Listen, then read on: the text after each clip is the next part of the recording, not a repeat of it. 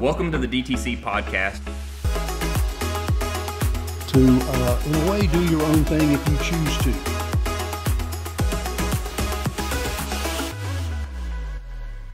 Welcome to the DTC podcast. I'm Daniel Findley. This is Dr. Tom Brown. Today we're going to talk about why mechanical engineers should get a professional engineering license. Well, hello, Daniel. How you doing today? Good to see you. Great, good to see you as well. I'm going to jump right into our first question here. Thinking about the current economic conditions, the, the pace of innovation in our world and, and technology, layoffs, remote, remote work, the need for engineering solutions, how do mechanical engineering PEs fit into this equation?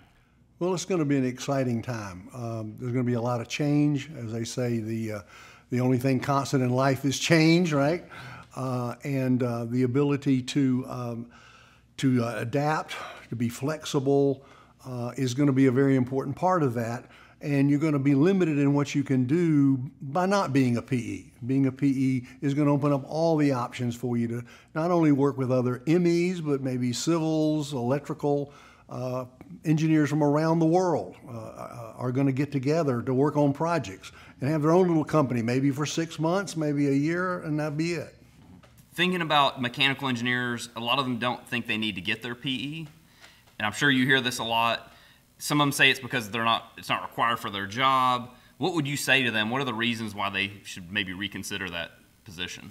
Yeah, that's uh, traditionally uh, mechanical engineers do not have to have their PE. When I worked uh, in industry uh, many years ago, didn't have to have a PE. Uh, there are other disciplines that you're in the civil engineering world, and uh, there the you have to have a PE or you don't have a career, right? Well, there's a lot. There's a lot of reasons. One is uh, uh, the, the, most common thing. Well, you can sign drawings, but but that's not really what it's about. The whole the whole thing is really about you being able to, uh, in a way, do your own thing if you choose to. In today's climate, we have this issue of um, uh, people being laid off and and, and uh, companies letting them go, or only being hired as a contract person. And uh, if you want to go out and do something, the only way in every state in the union is to have your PE. If you get your PE and you don't intend to, to ever have, have a business, um, you make yourself a, a, better candidate for promotions. Uh, certainly, people with masters uh, are, have an advantage. I know with my masters, when I went into work, I got jobs and whatever that someone without it might not have. But if you then add or have as a substitute the PE, you make yourself known. You you've got this um, this certification that you have gone through this gauntlet, and and that that just means a lot. It just does. It's surprising how it is. I mean, the, the day you get that, that again, the thing that you can't, some company must be making a bazillion dollars off this thing. we all have them and we love them. And I said, it's this in this in drawer, okay? When I pull this drawer out, there's the little box, you know, this just torn, you know, it's about to disintegrate. But in it is this, little and you can, you know, you can do it on on there do your thing. That's I've done it about six times, I think, over the years. Yeah, I think that's great. One of the things that comes to my mind when I hear this question is like most things in life, if you wait until you need it, it's too late. Oh. So you want. to- oh yeah, yeah. You're talking if you need your PE and you don't have the FE exam, FE part, or the PE, you're talking a year. And you know, you've got a friend who says, you know, come uh, come work for me. I've got this job and whatever. Oh, do you have your PE? It, it opens up a lot of opportunities. I think you know you can, can summarize it there that you know what you have may work and may work for the time being, but if something changes, you know you want that to to allow you to experience those other opportunities. Yeah, and, and one of the things to me when when, when I think about this question there's a lot of pride that comes into this, okay, that you've passed this PE. Okay, I have a PhD, okay, but, and there's a lot, of, was a lot of joy after spending the number, a few years doing that. But to get that envelope that said, I, I passed the exam and now I'm a PE, there's a lot of pride that's in that, okay? And you can't, you just can't express it sometimes. You, it is like what you did when you got your degree or some other kind of certification, but uh, the PE means a lot, and it means a lot to others that are uh, MEs because they think, you know, this is impossible to do, but you've now done it. So, you know. And, and one of the things that I've, I've found, especially uh, some comfort in being a PE, is some of the ethical questions you may get from a client. You know, can we cut this corner? You know, we need to make, we're behind schedule. Can you help us? You know, and it's a great opportunity to say that my license is on the line. And I love that that is something that you can use as an excuse and a reason to a client that I'm not going to cut corners.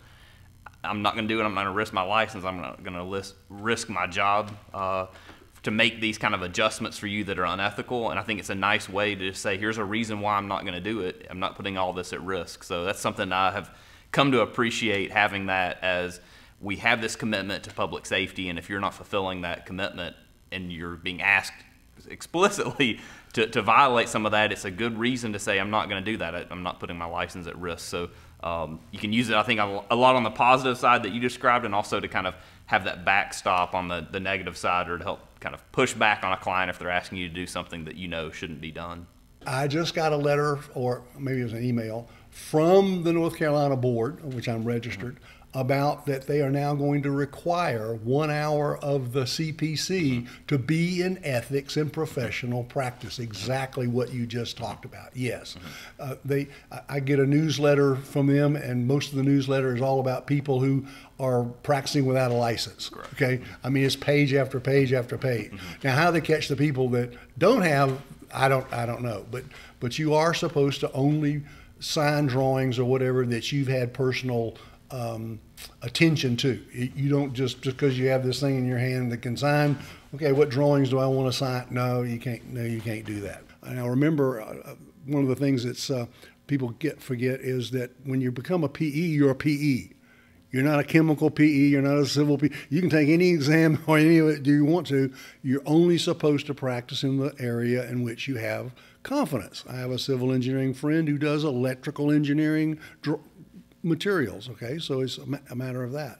You know, so you you've convinced me that it's, it's worthwhile to, to to work towards your PE to get that PE, but thinking about the, the variety of people we encounter, somebody that's out of school for one year or two years or 20 years or 30 years, I think that we tend to see people as they're further on that spectrum of their time from being in school and taking exams and that process of learning and just approaching an exam and having that strategy it can be intimidating. So what what do you tell that person that says, I just don't know that I can do this very long exam, a very difficult exam?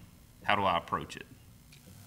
We get we get a lot of people in that. It's not just people with one and two. We we get a lot with 10, 15, 20. I think we had somebody uh, the other day. It seemed like they'd retired, but they wanted uh, uh, they wanted to uh, get their PE and commit to that. Uh, and yes, that, that we're saying, God, I've been away from this a long time. I don't know that I even had thermo. If I have thermo, I can't even spell it, kind of thing. Just understand. Um, but we can help you. I mean, we, we have probably our average age probably is in the 10 to 15 year out of school range as our typical participant. Uh, it's not just one and two and three uh, year folks. Um, NCEES talks about the three E's of, it, uh, of licensure uh, education, which uh, we've talked about, that, that, that's probably what you're going to have. Uh, exam is take that, and then you need experience. And so uh, those three uh, seem daunting, but if you take them a little bit at a time, then you'll make it. It's just you you have to there's a part of a confidence here in it and a commitment. Now you're going to have to commit time. There's there's no way around this. You're not going to be able to do it with a couple of hours or watch a few videos or whatever on YouTube or whatever. Yeah, no, no, no. it's not going to come back. Even if you just even if you just graduate, okay? I remember getting my master's and then working for 7 years and coming back get my PhD. I had to go back and go, oh, right, sine squared theta plus cosine squared theta equals one. Oh, right, okay. So you have to start all over. I mean, you can forget it in a weekend kind of a thing. But uh, we can, we at DTC, uh, we have we have broken this down into a 20 week course that's structured. We tell you what to do for five days of the week. The other two are up to you, but for five days of the week, we tell you things to do, and we little bit at a time, get you back in the groove on the material on the exam. this is not about your job, though we do have people say, I got my PE, boy, I solved this. Our team solved a problem because of the problem you worked there. which kind of gives me pride. You know, I get goosebumps just saying that, you know, that this team, you know, solved something because of what they saw on one of my videos. But um, um, it, it, you, you have to commit to the 20 weeks. Five, uh, 20 weeks is five months. We've tried shorter, but you can't get the material into that. We've tried longer, and that was a mistake because it's just too big a window for people to make a commitment. But for you know, for five months, 20 weeks, make that commitment. Um, do the 20 hours a week kind of a thing, and we will get you through if you'll if you'll do what we, we ask you or suggest that you do. You know, kind of a thing. That's really what that's really what Dr. Tom is about. We'll help you. We're going to get you past that. And, and you know, we, we just all thrill when we get an email back. I passed. You have changed my life. You've changed my life. I now can, I'm free, okay, from this. That, that just, I mean, that's, that's what we live for. I mean, yeah, we're a business and all that, but, uh, but it's, it's helping people to achieve their extraordinary. And sometimes that may just be getting their PE. And that's fine with us and I love that. I lo- those are my favorite emails. Just like you said, I, lo- I love that they're sharing in that celebration with them. And I tell them that since you pass it, you don't know what your score is. Tell me, send me an email saying you got 80 out of 80. you made it perfect. Nobody can argue with you, and there's no that information is not published. And I want to see that, and I want you to be proud, and just assume that you you got them all right when you get that passing score.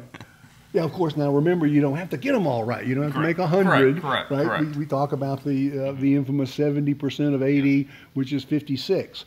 Well, the other day I thought I thought uh, I was thinking about that, and I said, well, then you get twenty four wrong, and hadn't thought about it that way, which means twelve in the first session and twelve in the second. So you don't have to know everything. That's uh, you can walk away from some. Okay, that's uh, one of the things we'll, that uh, we'll talk about in another another uh, session here about the uh, strategy. But uh, yeah, you you um, it's. Um, and, and, the vast majority of people are within that passing range.